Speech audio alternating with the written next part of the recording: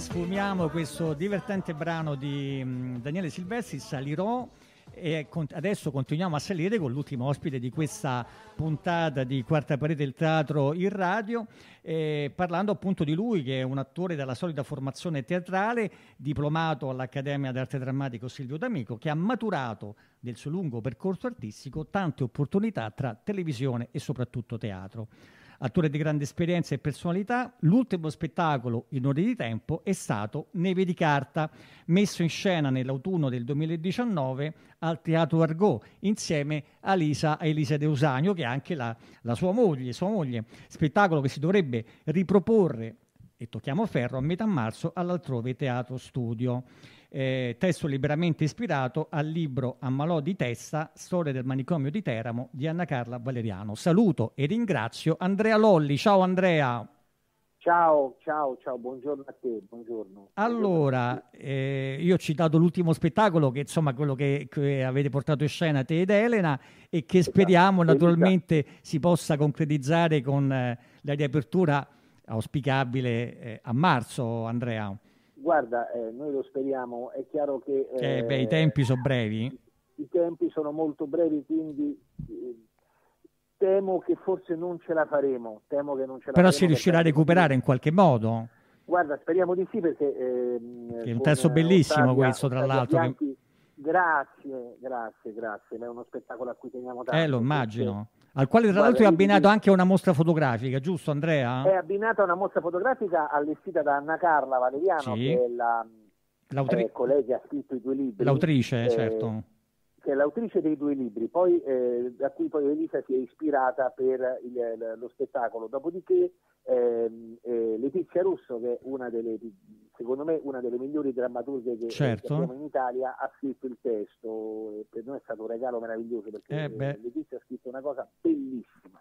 Allora, parliamo di eh, questa bella se- storia tra il poetico e il drammatico, no? Eh, sì, tra sì. Gemma e Bernardino. Allora, eh, praticamente ehm, eh, questa è una coppia, Gemma e Bernardino sono due contadini, due contadini abruzzesi del Novecento. Sì. Eh, dicevi? Abruzzesi. Abruzzesi, due contadini abruzzesi eh, dei primi del Novecento, eh, insomma, intorno alla prima guerra mondiale. Eh, che cosa succede? Succede eh, che eh, Gemma non può dare figli a Bernardino sì. e ehm, quando una donna era sterile, specialmente appunto in queste situazioni così contadine, eccetera, eccetera, era già una donna eh, additata, certo. era già certo. una persona che poteva... Fuori dagli anomala, schemi, fuori malata, dagli schemi, fuori certo. Dagli schemi e, e, e, quindi in qualche modo sobbillato dalla madre eh, Bernardino eh, chiuderà la moglie in, in manicomio, manicomio. l'accompagnerà in manicomio e la lascerà lì e dopo dieci anni in qualche modo per un motivo che adesso io non vado a raccontare certo non facciamo spoiler è, è, è, l'idea poetica bellissima di certo. questo, di questo eh, eh, di questo spettacolo, no? da cui poi trae eh, il titolo Neve di carta, nasce proprio da questa, da questa idea, eh, per cui Bernardino poi in, dopo dieci anni farà questo viaggio per andare a recuperare la moglie e parallelamente noi assisteremo al viaggio invece a ritroso di Gemma, cioè un viaggio all'interno del manicomio che lei fa con la mente. E questo è un momento di grande poesia, Andrea.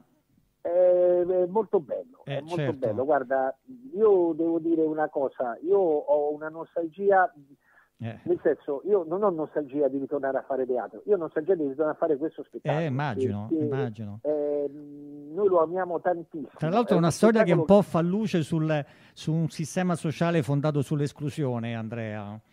Assolutamente, perché si parte Quindi la paura del diverso, la, la, la, povertà, il vagabondaggio, la trasgressione dei costumi, c'è, c'è, tanta roba dentro. Ma c'è della roba che possiamo trovare anche adesso. È chiaro che all'epoca c'era un discorso eh storico ben preciso, cioè in manicomio andavano le persone che andavano anche gli anarchici. Ma come no, no? Come cioè, no, è vero. La metà, il tre quarti delle persone... Venivi subito etichettato come matto, insomma. Come matto, perché se eri, sì, se sì, sì. fastidio al potere... Eri fuori dal sistema. Comunque, Ecco, se eri un anarchico dai fisi al potere, venivi chiuso in manicomio. Certo. Se eri una donna magari con una sua esuberanza, o cioè, cioè venivi chiuso in manicomio, cioè nel senso in manicomio credo che ci fosse mh, più della metà fossero chiusi senza essere matti, ci diventavi matto, ci diventavi pazzo. Certo. Eh, lì dentro, capito? Quindi Ecco, io vorrei aggiungere, Andrea, che questo è un testo che si muove anche quando sta fermo. Sì, è vero, è verissimo. Grazie, è bella e, questa cosa che dici. E anche urla dove anche là c'è il silenzio. Aggiungo sì, quest'altra sì. battuta. È bello questo che dici, ti ringrazio perché sai, noi ci muoviamo in uno spazio, noi abbiamo fatto questo spettacolo in spazi relativamente piccoli. Certo, me lo ricordo. Però uh, devo dire una cosa, eh, eh, anche perché poi in realtà io ed Elisa in scena eh, non ci incontriamo mai. Sì, no? non vi incrociate. Ci ma non ci incontriamo mai veramente. Sì, sì, sì, è vero, è vero. Però è vero, c'è questa idea di viaggio, cioè c'è questa idea di movimento pure che siamo fermi, perché poi fondamentalmente ognuno dei due ha uno spazio scenico dove muoversi, no? Certo, uh, certo. Un proprio contesto. E... Che cosa? Un proprio contesto, intendo dire. Un proprio contesto dove muoversi e ci sfioriamo ma non ci incontriamo mai se non poi vabbè io non voglio raccontare no no vabbè. Eh, non, to- non togliamo una... la suspense al pubblico perché io veramente no. invito tutti quanti sperando appunto che tutto ciò si possa realizzare eh, magari. Eh, vabbè, noi, vabbè, noi facciamo il tifo, ovviamente. eh, speriamo che insomma ecco, ci sia la possibilità, comunque se non a marzo, di poterlo recuperare. Se non a marzo l'anno prossimo, perché con Ottavia, insomma, con Ottavia, con Ottavia e, sì, eh, con Ottavia e Giorgio e, del, dell'altrove teatro, esatto. Con l'altrove teatro eh, recupereremo l'anno prossimo, ma insomma certo. è uno spettacolo che noi vogliamo fare a tutti i costi, ma perché ripeto, ve lo state coccolando come un figlio praticamente questo spettacolo. Ma è un figlio, è un figlio, certo. è un figlio. Noi, noi, ce lo portiamo avanti da tre anni questo eh, spettacolo, certo. abbiamo fatto eh, abbiamo, abbiamo, cominciato con dei piccoli step, abbiamo fatto dei... dei e poi è estremamente complesso eh, questo spettacolo, Uff, spettacolo complicatissimo. Dura un'ora, ma noi finiamo questo spettacolo siamo devastati. Esausti, devastati, esausti, immagino.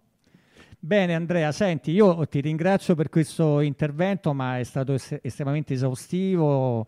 Eh, eh, devo dire, eh, questo spaccato di questa storia di questi due giovani, insomma, di due contadini abruzzesi è veramente... Giovani, insomma, giovani, beh, specialmente quello che mi riguarda, è un termine un po' eccessivo. Vabbè, vabbè, ma insomma, guardiamolo in positivo, insomma, ehm, quindi... Giovani dentro Giovani dentro, certo. Beh, chi fa teatro deve essere sempre giovane dentro, caro sempre, Andrea. Sempre, sempre. No. E allora, naturalmente, speriamo di vederci appena possibile in qualche teatro e magari proprio altrove.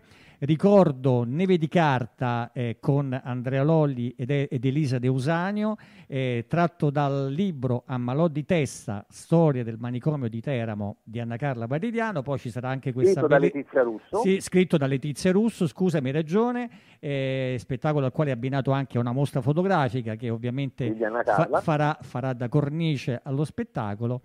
Caro Andrea, un abbraccio e tanti cari auguri e naturalmente sempre... Ah, ricordo buon... la regia, scusami, Giusto. la regia, perdonami.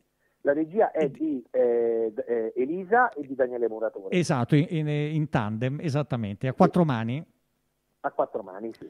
Bene Andrea, un abbraccio, tanti cari auguri e buon teatro sempre. Sempre, sempre, un abbraccio a te, grazie. A presto, ciao. a presto, ciao, ciao. ciao, ciao Bene, abbiamo parlato con Andrea Lolli che eh, ci ha raccontato di Neve di Carta e ci abbiamo ormai velocemente verso la fine. Volevo solo ricordare velocemente una manifestazione che si terrà domani eh, alle 14 al Teatro Argentina e dopodiché si sposterà a Montecitorio. L'hashtag è un anno senza eventi e un anno senza reddito. È una manifestazione a sostegno dei lavoratori dello spettacolo e della cultura. Partecipate. Detto questo, vi saluto con la solita frase di fine trasmissione che questa volta fa così. In un film l'imbecille non può fare che la parte di un imbecille. A teatro si può nascondere, in tv viene fuori subito. Vittorio Gasman. E allora io vi ringrazio, ringrazio naturalmente Claudio Bernabucci per la sua assistenza tecnica, ci eh, sentiamo lunedì prossimo a questo punto, oh, sempre solito radio, solita radio, Radio Sonar e quindi evviva il teatro, grazie a tutti e buon proseguimento.